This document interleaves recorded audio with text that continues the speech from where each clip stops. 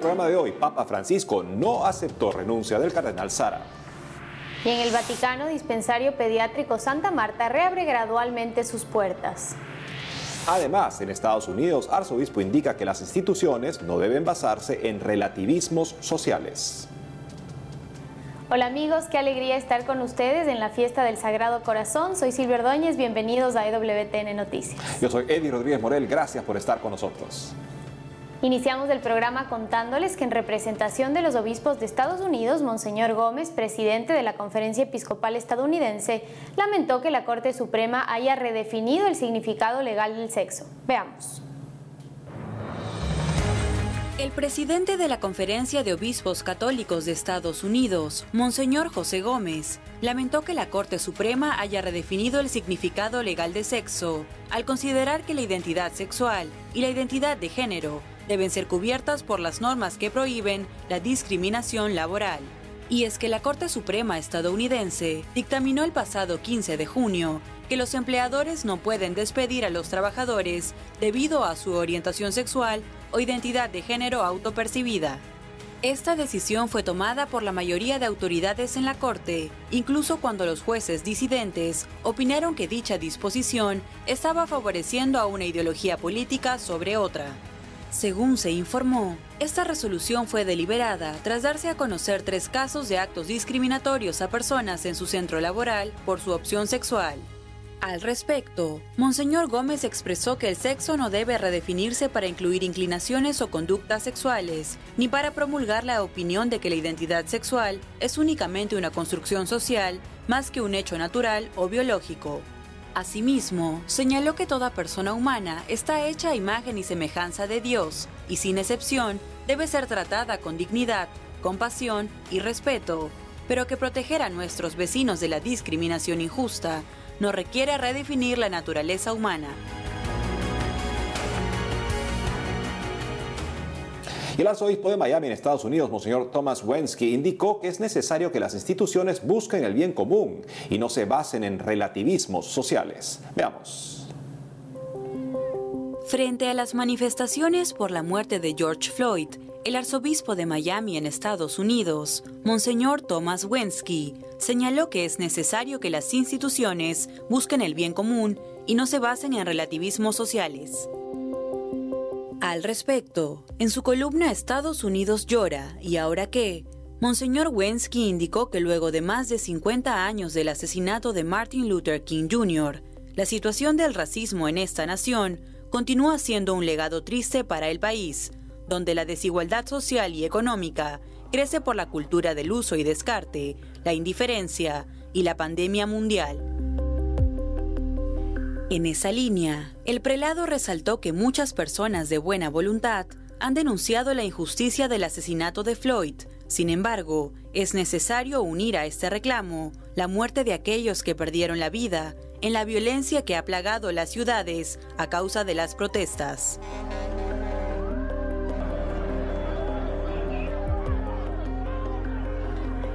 Frente a este contexto, Monseñor Wensky resaltó que es necesario mirar más allá de la polarización que solo divide aún más a la nación y buscar que las instituciones promuevan el bien común y trabajen en beneficio de todos, ya que actualmente estas son cuestionadas por permitir la corrupción y por dejar de ser posiciones de servicio y convertirse en instrumentos de beneficio personal.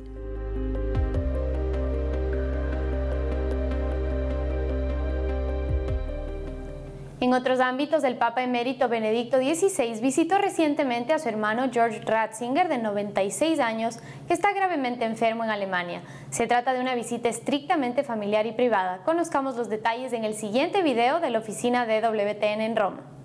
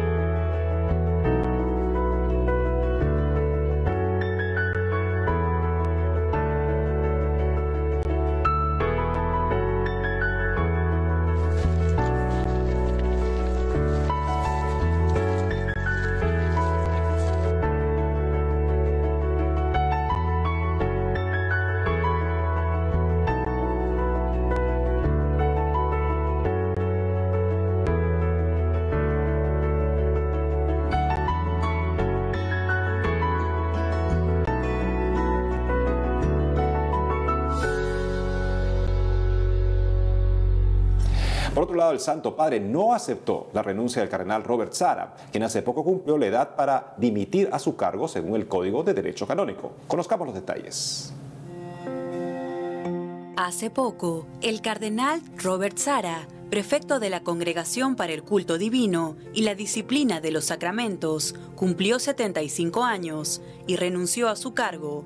Sin embargo, el Papa Francisco no aceptó la dimisión y le ha confirmado su oficio como prefecto.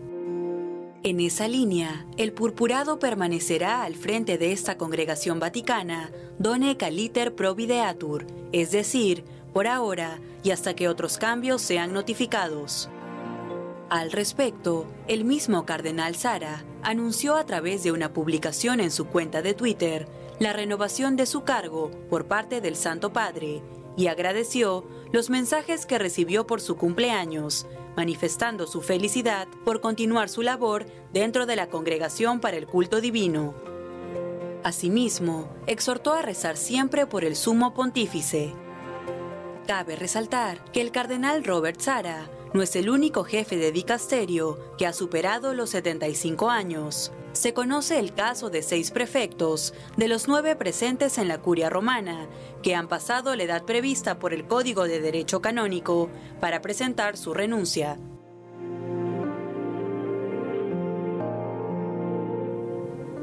y las puertas del dispensario pediátrico Santa Marta están retomando su atención al público en forma gradual. Conozcamos cómo va este proceso. Desde inicios de junio, las puertas del dispensario pediátrico Santa Marta, un pequeño oasis de generosidad y de ternura en el interior de la ciudad del Vaticano, está reabriendo sus puertas de forma gradual para nuevamente recibir a niños procedentes de todo el mundo junto a sus familias y brindarles todo el cuidado y asistencia médica que necesiten. En recientes declaraciones a Asia Stampa, agencia en italiano del grupo ASI, Sor Antonieta Colacchi, hija de la caridad y responsable del dispensario pediátrico, explicó que los servicios de pediatría y ginecología ya están atendiendo a quien lo requiera, pero solamente para el control de crecimiento, puesto que si el niño está mal, con síntomas de fiebre, no será posible que acceda a la estructura debido a las medidas sanitarias aún en curso por el COVID-19.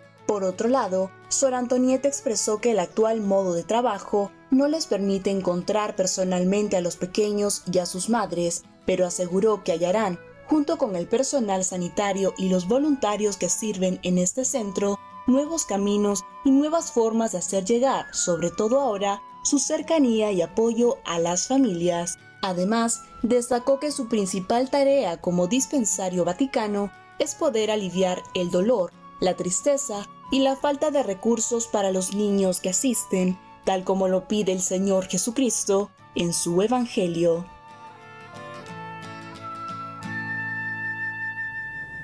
Nos vamos a otras noticias y les contamos que el próximo 22 de junio comienza la tercera edición de la Diplomatura en Comunicación de la Iglesia, organizada por la Asociación Civil Meraki en conjunto con la Universidad de Cuyo en Argentina. Para contarnos todos los detalles al respecto estamos conectados con José Illanes, coordinador de la Diplomatura. José, bienvenido a EWTN Noticias. Bueno, muchas gracias y muchas gracias por este espacio que nos da para, para poder difundir este, este espacio de formación que, que hemos lanzado hace poquito. José, cuéntanos por favor cómo nació la idea de realizar esta diplomatura en comunicación de la Iglesia y cuál es su fin. Bueno, básicamente la diplomatura ya es la tercera edición que, la realizamos. Eh, un espacio de formación apuntado específicamente a los comunicadores de la Iglesia Católica que están trabajando, ¿sí? Puede ser en una parroquia, puede ser una diócesis o aquellos jóvenes también por ahí que le da ese espíritu de eh, querer comunicar la buena noticia de una manera más profesional, ¿sí? Eh, y, nació básicamente porque hemos visto que a nivel mundial, no solamente acá en Argentina, sino a nivel mundial, no había un espacio de formación académico. Y sacando también la parte académica de una manera más profesional, eh, que convoca a los mejores comunicadores, ¿sí? a nivel de profesores, en un solo espacio para formar a más comunicadores. ¿Y podrías contarnos brevemente cuáles son algunos de los temas que abordarán en esta diplomatura y qué consideras para que la comunicación de la Iglesia Católica sea mucho mejor? Sí, la verdad que eh, es sumamente interesante la diplomatura. ¿En qué sentido? Porque tiene muchos temas muy variados. Eh, uno de los temas muy importantes hoy en día, el tema de la comunicación de crisis, cómo podemos desarrollar nosotros un plan de comunicación para cuando se nos presente una crisis a nivel comunicativo, también eh, en cuestiones de marketing, cómo podemos difundir nosotros nuestros proyectos o difundir aquellas cosas que tenemos dentro de la diócesis. Eh, también mucho, un tema que nos han pedido mucho es con respecto al tema de diseño y la fotografía. Este año hemos sumado dos clases sumamente importantes, que es diseño y fotografía. También tenemos eh, temas eh, relacionados a la comunicación institucional, eh, que apunta mucho a los que trabajan en las diócesis, ¿sí? Pero básicamente esos son los temas más, más importantes y en base a eso se, se desarrolla mucho más clase. Finalmente, José, para aquellas personas interesadas en llevar este diplomado en comunicación de la Iglesia, ¿cómo pueden hacer para inscribirse? ¿Hay alguna oferta especial? Sí, nosotros tenemos nuestra página web, que dentro de la página web nuestra se desprende el campo virtual y la página web es www.merakiorg.com. Dentro de esa página, en la parte de menú, arriba van a encontrar lo que es el campo virtual y ahí en el campo virtual van a encontrar todo lo que es el programa de formación, van a encontrar también lo que es eh, la forma de pago y bueno, también lo, lo, que sería la parte de todas las clases y quiénes son los, los, profesores del cuerpo académico de esta diplomatura. También dentro de la página web van a encontrar un número de WhatsApp que se pueden comunicar de forma directa para sacarse todas las dudas, consultas que tengan referido a la diplomatura. José Llanes, muchas gracias por habernos acompañado en EWTN Noticias. Al contrario, muchas gracias a usted y bueno, también felicitaciones por todo el trabajo que están haciendo. Gracias nuevamente, José. Amigos, tenemos que hacer una pausa, pero al volver en España, la Archidiócesis de Barcelona celebró 700 años de la primera procesión del Corpus Christi. Además, tendremos una entrevista desde Chile, donde más de 30 organizaciones firmaron alianza en favor de la maternidad y la niñez. Ya regresamos con más información en EWTN Noticias.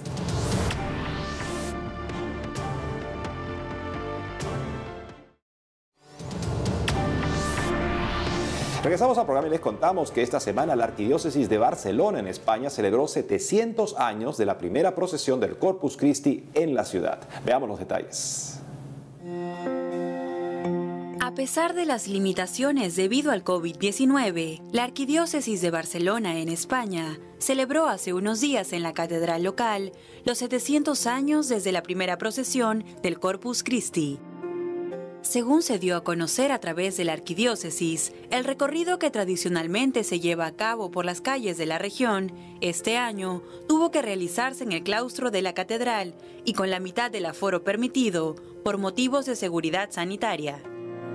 Asimismo, comentaron que la llamada Fiesta de las Fiestas tiene su origen en el año 1320 y sería una de las primeras procesiones alrededor de Europa y una de las pioneras en España.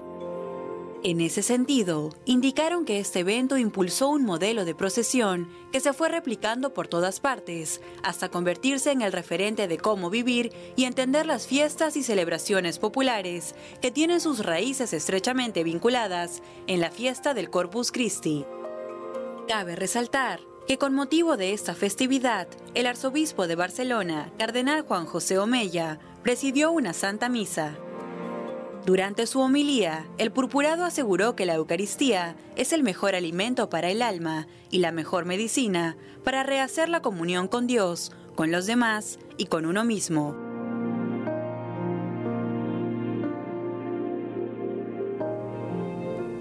Hace unos días, unas 33 organizaciones chilenas dedicadas al cuidado y promoción de la maternidad y la niñez firmaron una alianza de trabajo conjunto bajo el nombre de Red Colaborativa para el Cuidado de la Niñez Temprana.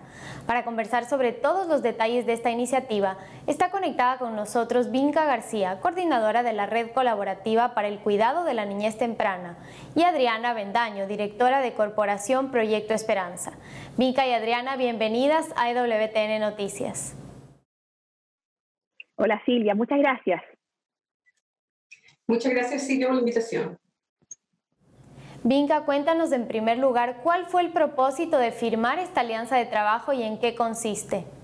Bueno, el propósito de firmar esta alianza de colaboración es poder, es poder seguir sentando las bases de nuestra red colaborativa a partir de que cada una de nuestras organizaciones pudiera firmar esta alianza para así poder comprometerse con el trabajo que estamos realizando a favor del niño, a favor de la niña y de la madre, y todo sentando a familiar y social.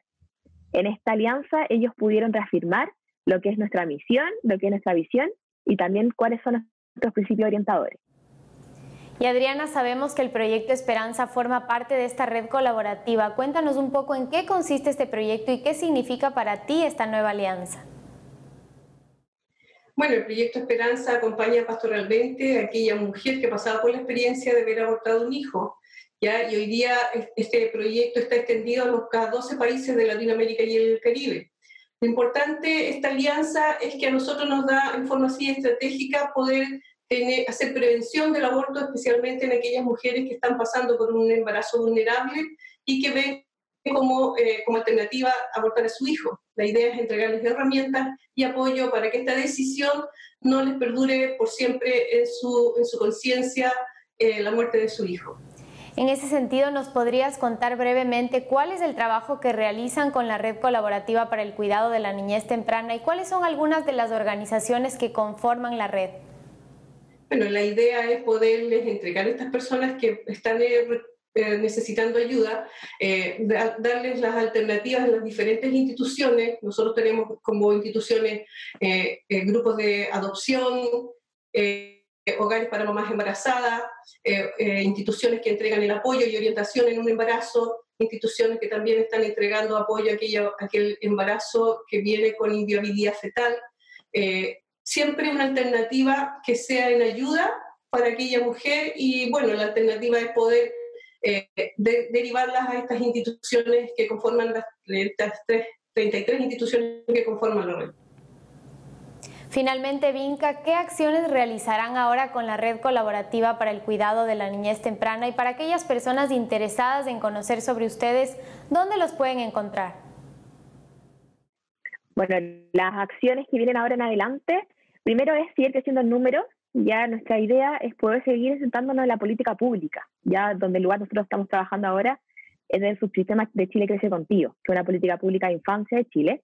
Por ende, primero queremos poder estar en todo Chile de aquí a tres años, poder formar redes en todas las regiones de nuestro país.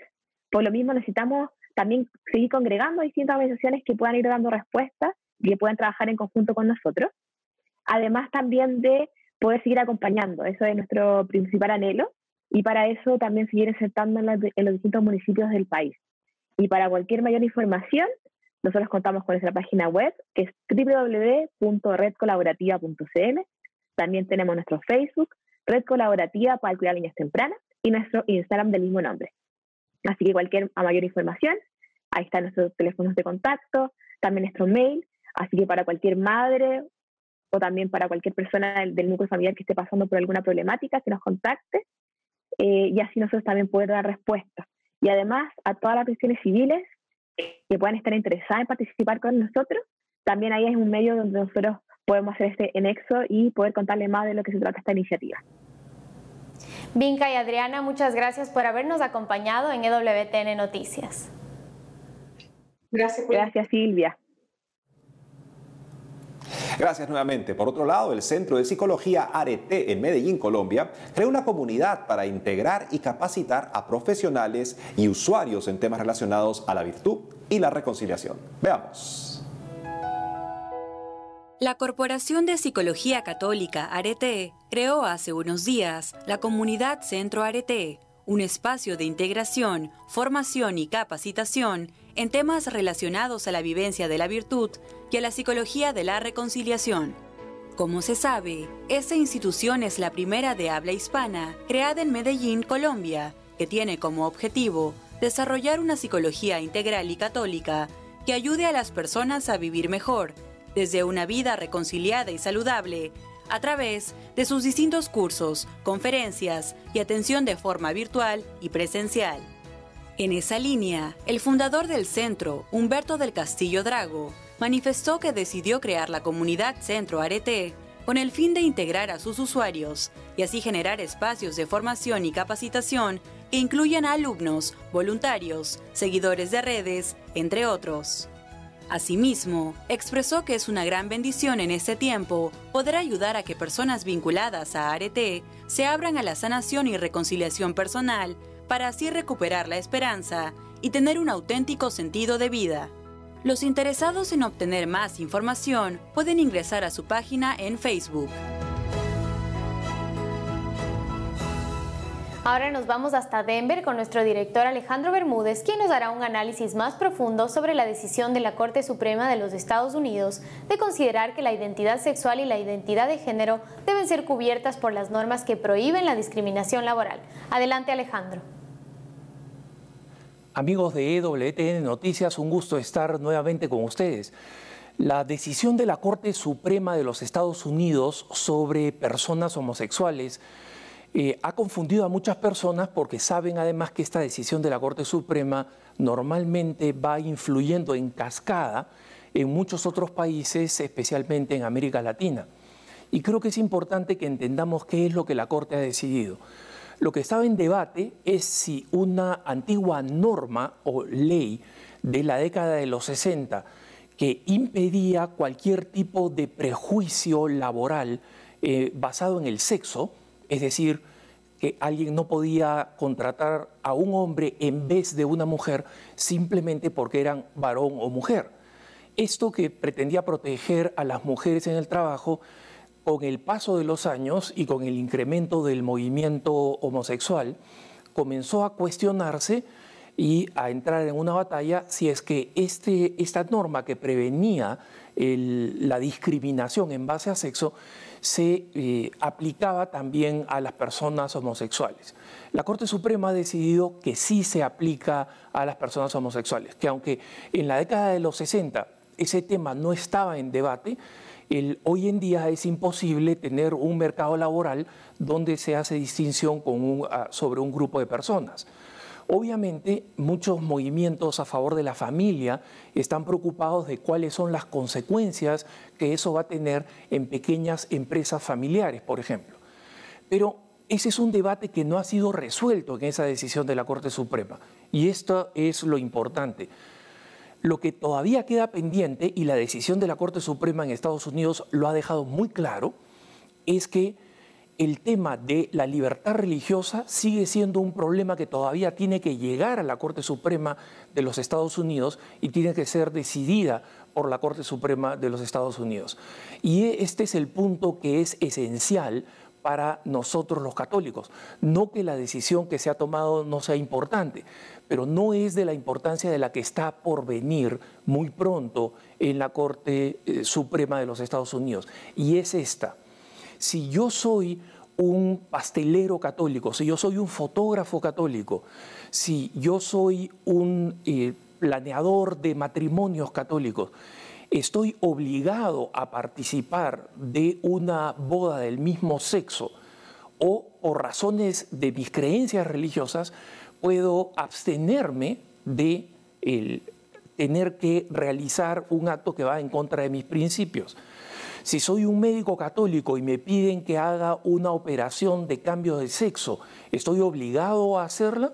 Es un derecho de la persona homosexual que yo tenga que prescindir y dejar atrás mis creencias religiosas?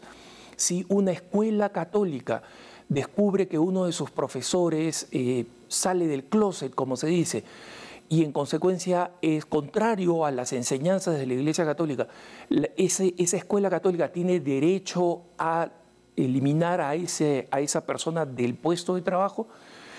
En este momento la práctica de los Estados Unidos está por todos lados. Unos jueces han decretado unas cosas, otros jueces han decretado otras y por supuesto no hay consenso en la legislación, así que esto va a ser decidido por la Corte Suprema. Ese es el tema esencial, el tema de la libertad religiosa y su relación con los derechos llamados homosexuales o LGBT.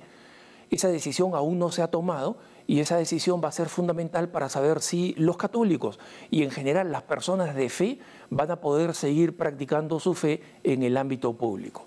Los dejo en compañía de la mejor información EWTN Noticias. Gracias Alejandro. Y con eso hemos llegado al final del programa de hoy, amigos. Gracias por estar con nosotros. Renovémonos en el amor al Sacratísimo Corazón de Jesús en esta solemnidad. Gracias por acompañarnos. No se olviden de seguirnos en nuestras redes sociales y que tengan un buen fin de semana.